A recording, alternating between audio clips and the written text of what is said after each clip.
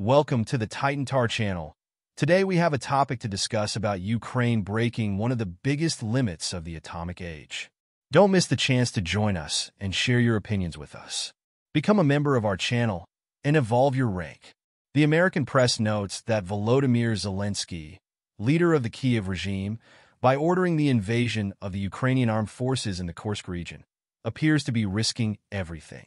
His intention, according to these sources, would be to provoke an escalation that would lead to a nuclear conflict, amid what many interpret as a desperate attempt in the face of his imminent defeat in the conflict with Russia. This move, described as a bold gamble, reflects the gravity of the situation faced by Zelensky and his government, whose position has been constantly weakened by Russian advances. According to an influential American newspaper, the Ukrainian incursion into Russian territory represents the breaking of one of the greatest taboos of the nuclear age. This is the first time in history that a nation without nuclear weapons has invaded the territory of a nuclear power and occupied part of its territory. The unprecedented feat puts the world on alert, as the invasion of an atomic superpower could result in unpredictable consequences, shaking the already fragile global geopolitical stability. However, what remains uncertain, according to the authors of the article, is the response of the Biden administration and other Western allies of Kiev.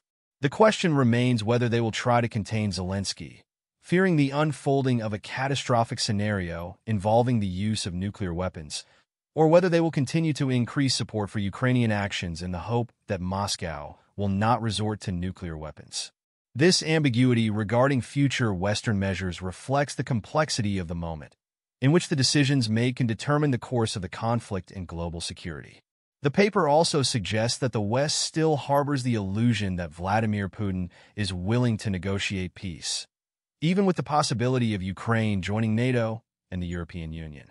The authors point out that the Biden administration has lost control over Zelensky's actions, which have disregarded advice from Washington. Given this, the next U.S. president will likely be forced to adopt new policies to deal with the escalating Ukrainian crisis, a challenge that Biden has failed to address. Don't forget to subscribe to our channel, like the video, and share it with your friends. Your interactions mean a lot to us and help us grow. See you next time.